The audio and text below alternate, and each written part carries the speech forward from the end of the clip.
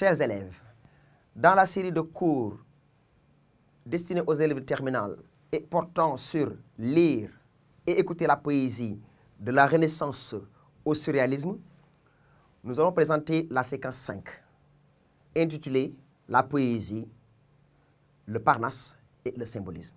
Nous allons voir dans un premier temps le mouvement, le Parnasse. Objectif, connaître les caractéristiques et les manifestations littéraires du Parnasse et du symbolisme. Mais tout d'abord, qu'est-ce que le Parnasse? Autour donc d'un grand poète, le comte de Lille, vont se rassembler une quarantaine de poètes. Et ces poètes vont publier leurs œuvres dans une revue intitulée Le Parnasse contemporain. Alors, qu'est-ce que le Parnasse contemporain. C'est une revue en trois volumes de poésie qui sont publiés en 1866, en 1871 et en 1876, auxquels vont participer les précurseurs du Parnasse, qui sont le comte de Lille, Théodore de Banville, José Maria de Heredia, Théophile Gautier, Catulle Mendes, Philippe Rodom, entre autres parnassiens.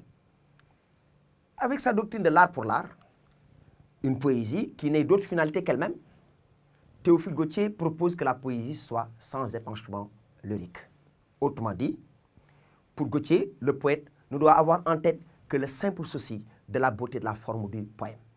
Et qu'est-ce qu'il écrit? Il n'y a de vraiment beau que ce qui ne peut servir à rien. Tout ce qui est utile est laid. Dans la préface à son roman intitulé Mademoiselle de Maupin, Gautier va prôner l'absolue gratuité de l'art et de la poésie. Autrement dit, la poésie n'a qu'une seule finalité, la quête de la beauté du poème. Ce qu'il appelle tout simplement cette recherche de la beauté formelle en poésie. Donc, le nom Parnasse vient d'une montagne, le mont Parnasse, une montagne dans la Grèce antique, où s'assemblaient les neuf muses des déesses inspiratrices sous la conduite d'Apollon. Et Apollon, c'est le dieu des arts, de la musique et de la poésie. Chacune des neuf muses représente et protège une forme d'art. Nous avons Clio, qui donne le don d'historien, Euterpe donne le don de musicien, Thalia donne le don donc, de la dramaturgie, mais concernant un genre théâtral, la comédie, alors que Melpomène inspire les tragédiens. Terpsichore, c'est la chorégraphie la danse. Erato, le chant nuptial. Polymnie donne le don pour la pantomime et la rhétorique. Uranu donne le don d'astronome et d'astrologue, alors que Calliope donne ce don pour la poésie épique. Ces neuf muses ont été évoquées par beaucoup de poètes, parmi lesquels Joachim Bellay, quand il perd l'inspiration une fois à Rome, et qu'il parle de cette fuite de l'inspiration. Il écrit quelque part dans les regrets, de la postérité je n'ai plus ceci, cette divine ardeur je ne l'ai plus aussi, et les muses de moi, comme étranges, s'enfuient. Voici donc ici une représentation d'un tableau où on voit les neuf muses autour du dieu Apollon, et vous voyez que les muses alors, sont étroitement liées à des formes artistiques, à des pratiques artistiques. C'est la musique, c'est la danse, c'est la chorégraphie donc, mais aussi surtout c'est la poésie. Pour comprendre le Parnasse, il faut donc considérer que l'évocation d'Apollon, dieu de la poésie, des arts, de la musique et des neuf muses, montre que les Parnassiens font de la poésie un véritable art du langage. Alors, retenez donc que le Parnasse est un mouvement littéraire dont les fondateurs vont se détourner complètement de la sensibilité romantique et de l'engagement pour se consacrer exclusivement à la recherche du beau. Dans quel contexte est né le Parnasse? Le Parnasse est un mouvement de la deuxième moitié du 19e siècle dans la littérature française. Et c'est suite à une vague de désillusions qui ont été provoquées par la révolution de 1848, révolution commune de Paris. Ainsi, pour échapper à la hideur du monde moderne, les Parnassiens se tournent vers un exotisme sauvage, vers les mythes et les légendes. Et ainsi, ils vont s'opposer au romantisme dont ils vont fustiger d'abord, un, le lyrisme subjectif et sentimental. Pour les parnassiens, le moi est haïssable. Euh, la poésie ne doit pas être l'expression des sentiments personnels. Deux, il faudrait que cette poésie-là aussi soit une poésie qui s'écarte du culte du moi, qui a été développée par des poètes romantiques comme Victor Hugo, Alfred de Vigny, Alfred de, Musset, Alphonse de Lamartine. Et enfin, le caractère utilitaire de l'art. Les parnassiens vont s'écarter de toute idée d'engagement social ou politique. Alors, quelles sont les grandes figures du Parnasse L'une des plus grandes figures du Parnasse, c'est le comte de Lille, 1818-1894. Alors, le comte de Lille va marquer une distance avec la poésie engagée par l'utilisation de thèmes tels que l'exotisme, le retour aux mythes et aux légendes, ce qui fait que cette poésie-là va s'écarter de cet engagement politique qui a été développé par des poètes comme Victor Hugo et Alphonse de Lamartine.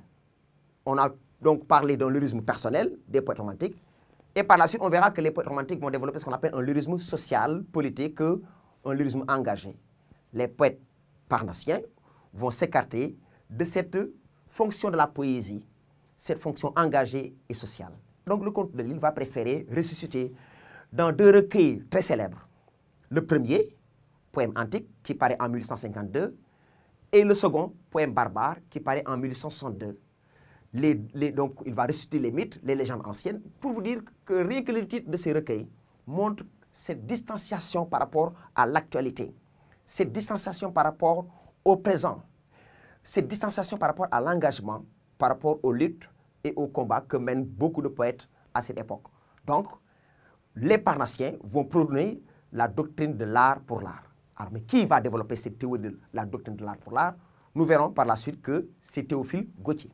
Il écrit un roman célèbre, Mademoiselle de Maupin, qui paraît en 1835. Et dans la préface qu'il écrit lui-même, alors Gautier va prôner ce qu'on va appeler la doctrine de l'art pour l'art. Mais c'est surtout dans son poème L'art, du recueil Émo et Camé, recueil qui paraît en 1857, qu'il va développer la quête de la beauté. Une quête de la beauté en création poétique, en dehors de toute visée utile de la poésie, en dehors de toute idée utile de l'œuvre d'art. Autrement dit, l'art doit s'écarter de la morale, l'art doit s'écarter de la politique. Autre figure majeure, c'est José Maria de Heredia. C'est un poète français d'origine cubaine qui va délibérément se tourner vers l'histoire, le passé. Son recueil Les Trophées est composé de sonnets où il revient sur l'épopée des, des, des, conquérants, des grands conquérants espagnols qui partaient donc vers l'Orient. Autrement dit, une manière pour lui aussi de prendre de la distance par rapport à la poésie anga, engagée. On verra donc que Heredia va donc aborder dans son recueil Les Trophées qui, qui paraît en 1893, mais des sujets d'ordre mythologique.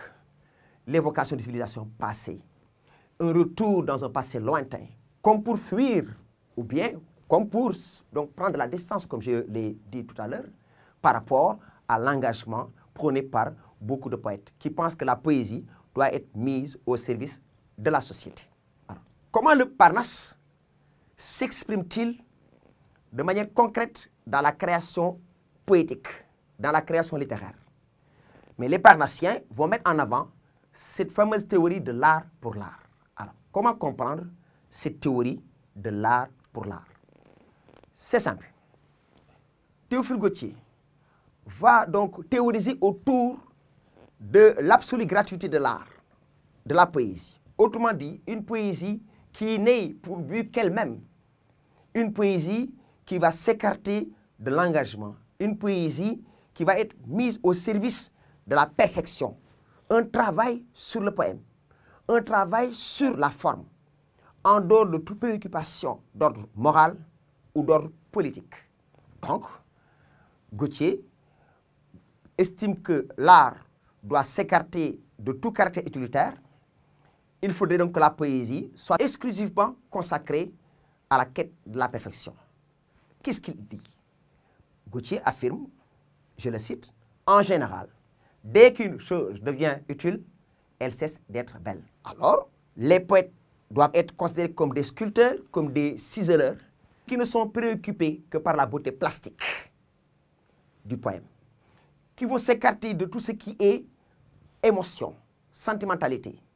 Donc une poésie aussi qui va s'écarter de la raison, qui va s'écarter de toute idée de morale, de toute idée de religion.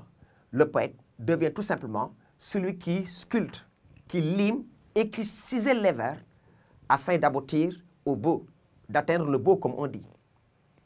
Ce souci de la beauté formelle va s'exprimer à travers le vocabulaire très riche, par un travail sur la rime, un travail sur le maître, un travail sur le rythme du, du vers.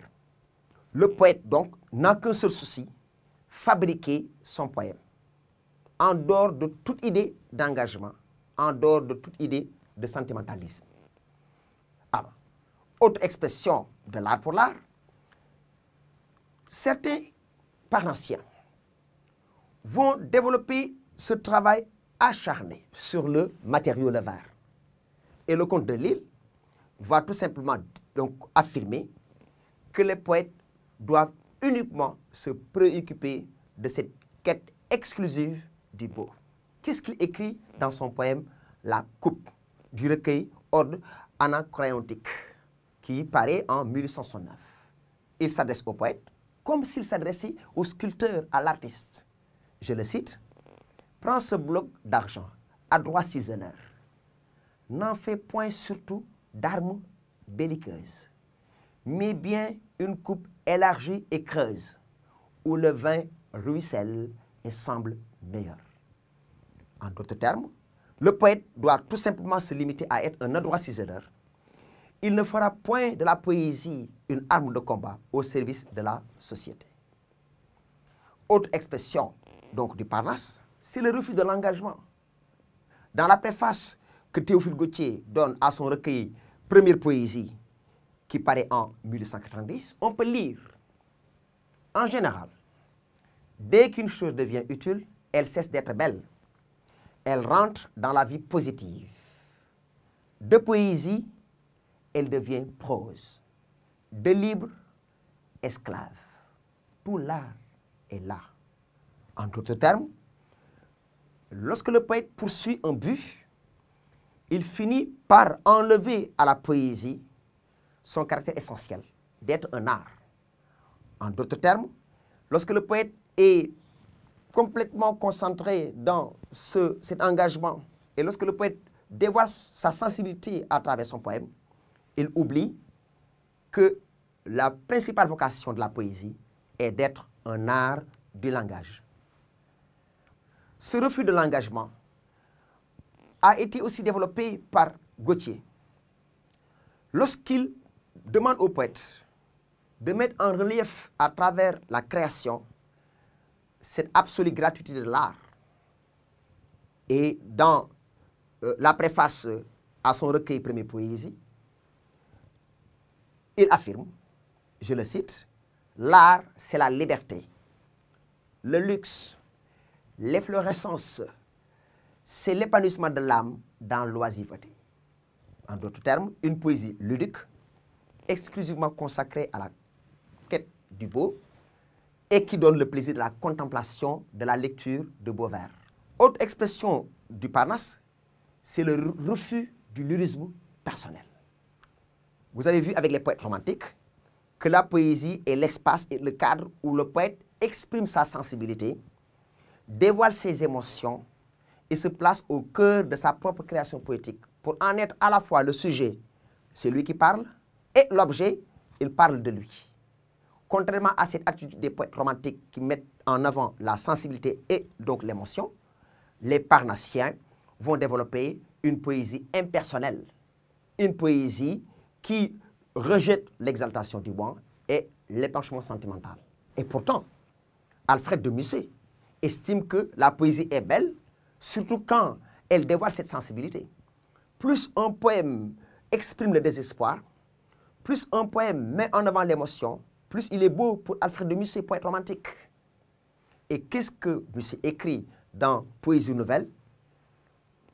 Particulièrement dans son poème La Muse, Les plus désespérés sont les chants les plus beaux. Et j'en sais d'immortels qui sont de purs sanglots. Autrement dit, plus un poème exprime le désespoir, plus un poème exprime l'émotion, plus ce poème est beau et devient immortel par sa beauté. Et l'immortalité donc du poète passe nécessairement par une poésie belle. Et Alfred de Musset pense que la beauté de la poésie tient avant tout dans l'émotion qui est dévoilée à travers les vers. Nous allons maintenant, chers élèves, passer à un exercice. Nous allons lire quatre strophes qui sont extraites du poème L'art du recueil et Camé de Théophile Gautier. Ce poème L'art est presque considéré par beaucoup de spécialistes comme le manifeste du Parnasse. Gauthier va donc donner des conseils pratiques aux Parnassiens à qui il recommande de considérer que la poésie, c'est de la sculpture, que la poésie, c'est de la peinture, mais que la poésie aussi, c'est de la musique. Nous allons maintenant répondre à deux questions que vous allez retenir. La première question est la suivante. À quelle pratique artistique au singulier ou à quelles pratiques artistiques au pluriel la poésie est-elle assimilée dans les quatre strophes que nous allons lire ensemble? Deuxième question, quelles sont les deux fonctions assignées à l'art? Voici les quatre strophes du poème L'art de Théophile Gautier. Je m'en vais lire avec vous. Oui, l'œuvre sort plus belle d'une forme au travail rebelle. Vert, marbre, onyx, émail. Statuaire repousse l'argile que pétrit le pouce quand flotte ailleurs l'esprit. Les dieux eux-mêmes meurent, mais les vers souverains demeurent, plus forts que les airains. Sculpte, lime, cisèle, que ton rêve flottant se scelle dans le bloc résistant. Rappel des deux questions. À quelle pratique artistique au singulier ou à quelle pratique artistiques au pluriel la poésie est-elle assimilée dans ces quatre strophes du poème L'art de Gauthier? Voyez qu'on a mis en couleur jaune des termes, des mots des quatre strophes. Ensemble, nous allons répondre aux deux questions successivement. La première question est la suivante. À quelle pratique artistique ou à quelles pratiques artistiques la poésie est-elle assimilée dans ces quatre strophes du poème L'art de Théophile Gautier, de son recueil et Camé? Mais on a l'emploi de sculpte, lime, cisèle. L'emploi du verbe ciseler renvoie à un travail de l'orfèvre. L'orfèvrerie, c'est la création de bijoux en or, en argent. Et on a trois impératifs qui renvoient à ce travail minutieux de l'orfèvre qui fabrique l'or ou qui fabrique l'argent. C'est sculpte, lime, cisèle. Un travail d'épuration pour aboutir au beau. Lorsque le métal noir est mis au feu par l'orfèvre, c'est pour en extraire les impuretés. De même, lorsque le poète écrit son poème, il va d'abord faire une première donc, mouture de son poème. Il va donc faire un premier manuscrit, mais au fur et à mesure qu'il avance dans la correction, au fur et à mesure où il avance dans cette quête du beau, il va finir aussi par corriger et par recorriger. Et le conseil a été donné par Nicolas Boileau dans son poème Art poétique. Lorsque Boileau écrit, je le cite, Travaillez à loisir quelque ordre qui vous presse et ne vous piquez point d'une folle vitesse. Hâtez-vous lentement et sans perdre courage. Vingt fois sur le métier, remettez votre ouvrage. Polissez-le sans cesse et le repolissez. Ajoutez quelquefois et souvent effacez. Ce travail d'épuration de l'orfèvre en face de l'or ou de l'argent, c'est le même travail que le poète fait en face d'un premier poème et qui va tout simplement être corrigé plusieurs fois pour la quête de cette perfection formelle. Donc, le poète est un sculpteur, le poète est un ciseleur, le poète est un orfèvre. Le verre aussi est assimilé à des minéraux. Nous avons dans un verre, que nous avons lu tout à l'heure, que le verre est associé à un champ lexical du minéral. c'est le marbre. Minéral précieux, c'est l'onyx. Minéral précieux aussi, c'est l'émail. Qui, contrairement à l'argile, sont difficiles à travailler. Extrêmement difficiles à travailler. Le travail du marbre, le travail de l'onyx et de l'émail nécessite une concentration très forte, mais aussi nécessite aussi un talent du sculpteur. Rien à voir avec l'argile, que pétrit le pouce quand flotte ailleurs l'esprit. La concentration maximale du sculpteur, c'est cette même concentration qui est nécessaire à la création poétique. Donc, le poète aussi est un sculpteur. S'il est un orfèvre à la quête du métal qui brille et à la quête de, du bijou qui brille par sa beauté, le poète aussi est quelqu'un qui épure, comme le sculpteur qui enlève l'écorce du bois pour tailler le buste. Deuxième question. Quelles sont les deux fonctions assignées à l'art? Dans le poème L'art de Théophile Gautier. Mais avant tout, la poésie a une fonction purement esthétique. Le seul souci du poète pour les parnassiens doit être la recherche d'une beauté idéale. Un souci permanent du poète. Et pour cela, il faudrait que le poète accepte un dur labeur, un travail extrêmement difficile. Et voilà pourquoi le verre est associé au marbre, à l'émail et à l'onyx. Et Gauthier le dit d'ailleurs, l'œuvre sort plus belle d'une forme au travail rebelle. Le mot rebelle ici renvoie aux matériaux durs à travailler. Autant le marbre est dur à travailler, autant le verre est aussi dur à travailler. Ensuite, il faudrait que le poète se concentre sur le matériau, sur le verre qui n'accepte pas que l'esprit flotte ailleurs.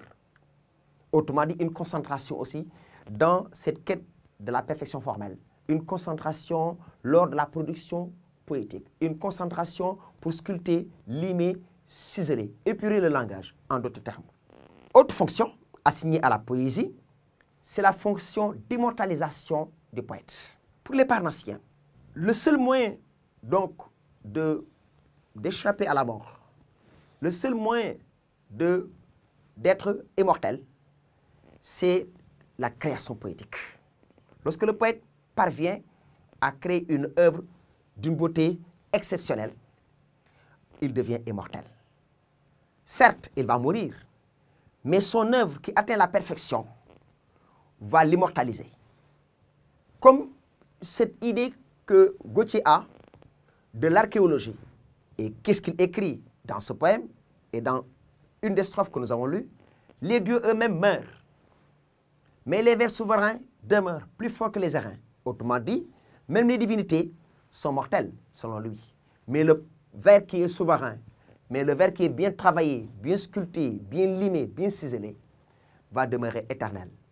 Et dès lors que le vers devient éternel, donc le poème devient éternel, son créateur, le poète, devient éternel.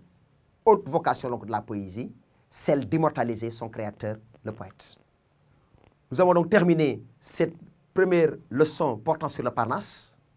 On vous dit au revoir et à très bientôt pour l'autre mouvement, le symbolisme, qui est un mouvement aussi de grands poètes de la deuxième moitié du 19e siècle en littérature française. Merci, au revoir et à la prochaine fois.